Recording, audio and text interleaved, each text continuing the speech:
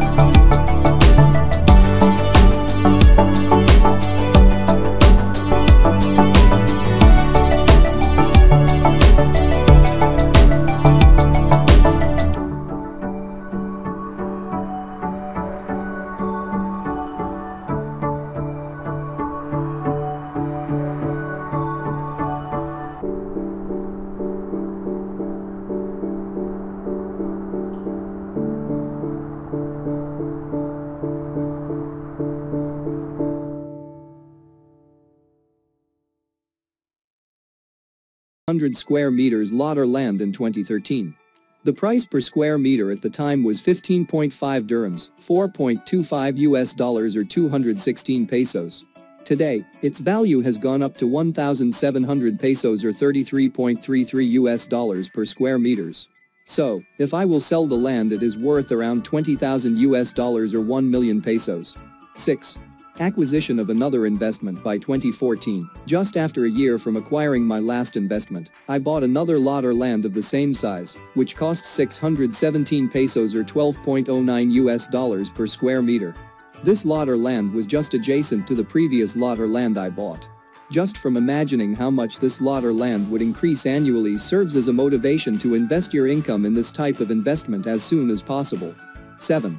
Built a one-unit apartment. It has been a long dream of mine to build and own an apartment, and this dream finally became a reality.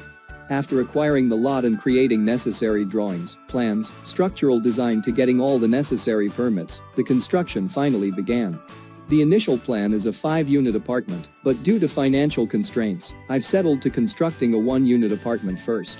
Fortunately, as of this writing, the remaining 4 units will be completed soon. In the long run, I'm planning to build a commercial property along the highway and more apartment units behind it. Guys, are you excited to achieve these things as well, my greatest achievements as a QA-QC engineer? While you are working as a QA-QC engineer, just keep on investing your income, and soon you will see how these investments grown and eventually help you. Mark my word. If you are a newbie or a new graduate or anyone who would like to take the QA-QC engineering as a career, you may enroll in our online course Quality Engineers Academy. The website is found in the description below. If you have any questions, kindly contact us at qualityengineersguide at gmail.com or just simply comment in the comments section below. If you enjoyed watching this, please subscribe to our channel and don't forget to like and share this video. There are two more appearing videos that you would like to watch, please click to watch now. Thanks for watching.